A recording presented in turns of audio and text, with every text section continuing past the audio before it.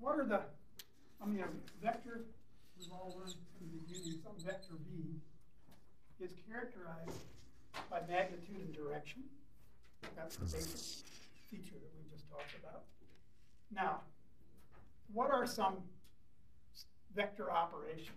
Well, some examples of vector operations is a vector scalar multiply.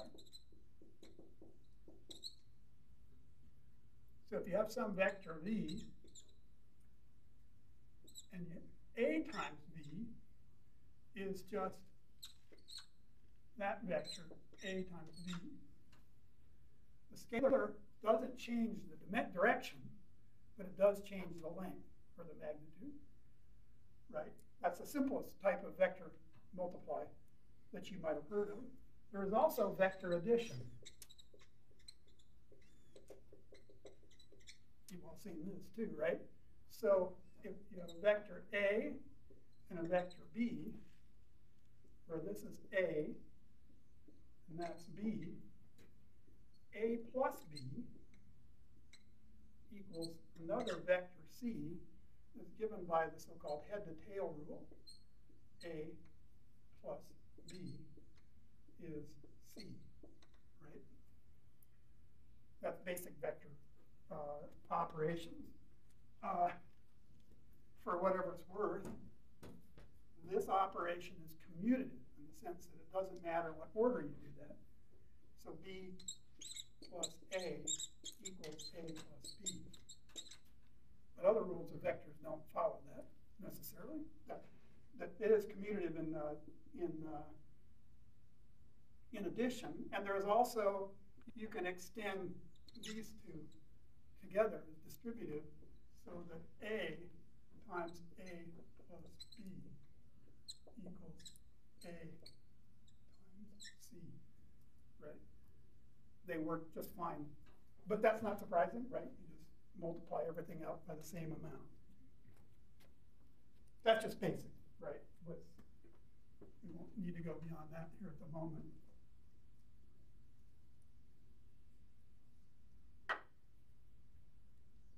There are other types of vector multiplication, and that's what I'm really driving at. How do you multiply vectors, right? Both of these, that was addition and a scalar multiply, uh, which is straightforward because you're just taking a scalar times a vector, for example, for that multiply. But what about vector multiplies? You're taught usually that there are two so-called proper multiplications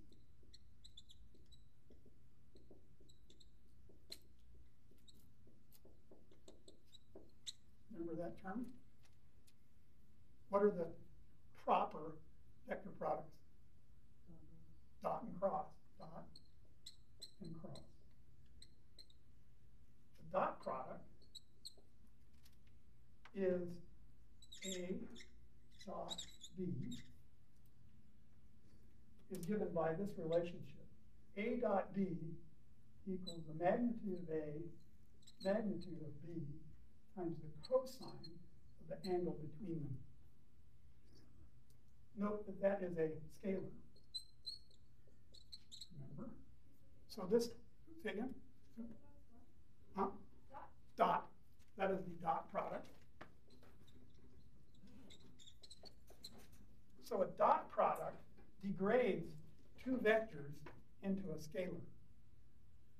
It's sometimes called the projection of A onto B because of this cosine relationship. So if A and B are parallel, it's a simple multiply of their magnitudes because then cosine is zero and that's one. But the larger the angle, theta, when it goes to 90, that goes to zero, so the dot product is zero. Uh, that's important in a, in a context of vectors, of establishing something perpendicular or horizontal parallel and the like. That's commonly used in that context. Fair enough? The cross product, you probably all dread from physics. the cross product is similar to the dot product in the sense that it's related to the magnitudes of the two vectors. But the cross product is A cross B equals C, takes two vectors and generates another vector. And its magnitude is C equals magnitude of A, magnitude of B times sine theta, where theta is the angle between, between A and B. So in one sense, these are completely related to each other because they're, they're connected through a trigonometric function in terms of their magnitude. So if you have a pair of vectors A, B, uh, that are parallel to each other, then this product is zero because the sine of zero is zero. But if they're 90 degrees apart, this becomes a maximum. So the magnitude of this would be the same as two parallel vectors in the case of A and B. Uh, the, the orientation, orientation C is given by, by a right-hand rule. Can't draw a hand, but there's two vectors, A, B, and the angle between them is theta. I did that backwards because now it's. A cross B equals C. C goes into the board. A crossed into B goes in this direction. And its magnitude is given by that, right? Now, I, I, I got, got ahead of myself, well, not ahead of myself, more information you may need. But the connection between these two is important in the context of a, is a really simple way of establishing whether things are orthogonal in that context of the relation between these two dot products. And the dot product and the cross product can be used to establish whether something is orthogonal or not, or parallel to one another because of this simple relationship.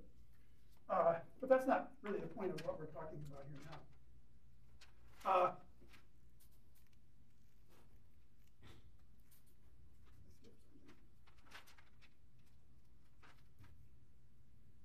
These are both so-called proper vector product.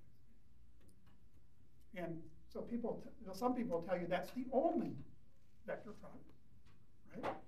Well, it's true, it's the only proper vector product. There are improper vector products. See, they lie to you in math all the time. Uh, there is another class of vector products that nobody wants you to deal with because it's harder to deal with even than these. And the other vector product, the improper vector product, is just A, B, which is called dyad product.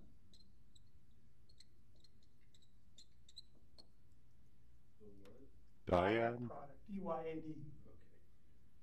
And there's a whole map devoted to that product. Hmm. Uh, That's the math of tensors. Which is where we're at right now. Where we are now. Nice. And